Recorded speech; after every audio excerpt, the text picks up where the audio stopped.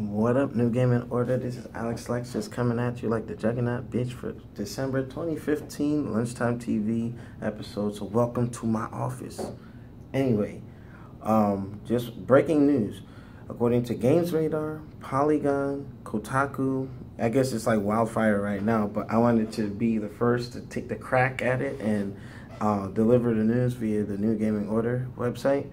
But Kojima has officially left. Now, I know many of you who've been watching our show know that we've been beating this dead horse for a minute, but now things are official, and uh, Konami and Kojima have parted ways. Now, here's another thing, and this is probably the last time I'm going to revisit this topic in depth, but I will say this Kojima now is free to do whatever he wants. And Nelson and our staff have called it. We said, okay, whatever it is with the higher ups and the restructuring with Konami, they just like, look, stop trying to cover up the truth. You you guys mistreated the man.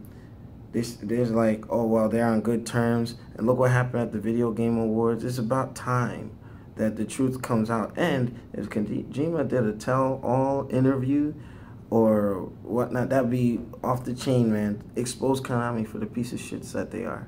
And with that being said, uh, Kojima is looking to go into developing his own studio with some former members of Kojima or Fox.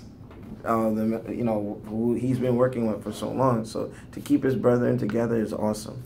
Um, there's also rumors that, according to NeoGAF, for that, um, he's in talks or negotiations with Sony. Um, a lot. It's just hearsay for the time being. Where, according to the article I read, I'll leave the link to the description below. Where he, if Sony picks him up, he'll be exclusively making titles for Sony, which uh, will be interesting. But there won't be any Metal Gear or Zone of Enders, things like that. I mean, unless Konami, you know, gets rid of those IPs or sells them off to him. But considering how bad badly things ended, I think just to spite him, they'll kill off his his IPs. Um, it's just unfortunate. Capcom's not free of this. Look what they did with Inafune and Mega Man. You know, they wouldn't let this man take his, his stuff, but it is what it is. And Shinwar sending me a message. But um, with that being said, it's official. The no compete clause is over and it came at a good time because that's a big fuck you to Konami for what they did to him at the Video Game Awards.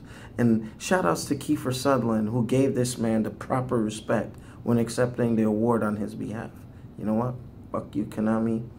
Kojima, fly free wherever you may land.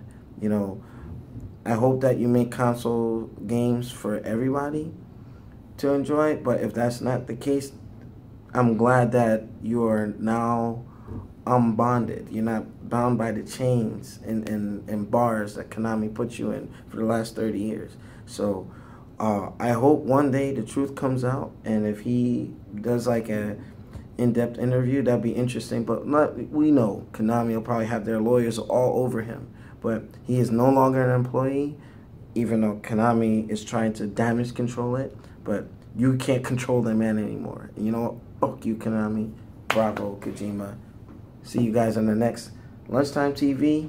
And Lyoko Lion, shout out to him. He'll be doing a podcast um, recapping what happened Roman Reigns winning the U.S. Well, U.S. Oh my gosh, mixing up my titles. But winning the World Heavyweight Championship last night on Raw with Vince McMahon popping up. Hmm, interesting. I wonder what the ratings look like. But this has been Alex Exodus. I'm out like the juggernaut bitch.